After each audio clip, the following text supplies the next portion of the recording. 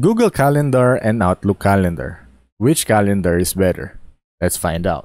Google Calendar is a free cloud-based scheduling tool integrated in every Google account and Google Workspace. It lets you easily create events and recurring reminders, color code calendars, invite guests with RSVP tracking, and automatically generate events from Gmail. Features like Find a Time and Smart Suggestions help streamline scheduling meetings and syncing across web.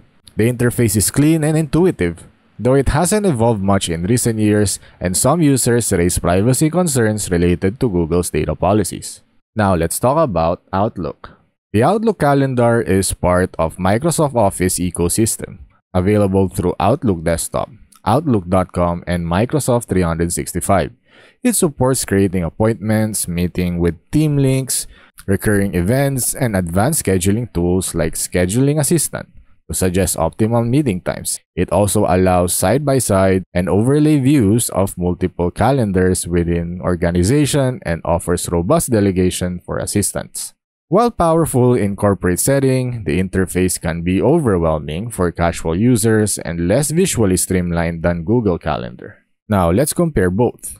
Google Calendar excels in cross-platform accessibility, simplicity, smart suggestions, and seamless integration with Gmail and Meet. Outlook Calendar shines in business environments offering resource booking, robust delegation, Teams integration, and powerful organizational features. Google is ideal for individuals and small teams. Outlook is tailored for enterprise, heavy scheduling, and admin control.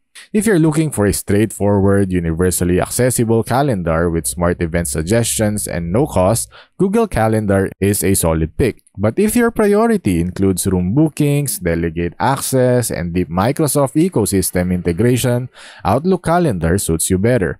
Both serve different audience, choose based on your ecosystem and feature needs. If you found this video helpful, make sure to hit that like button and subscribe for more videos like this. As always, thank you for watching. I'll see you when I see you.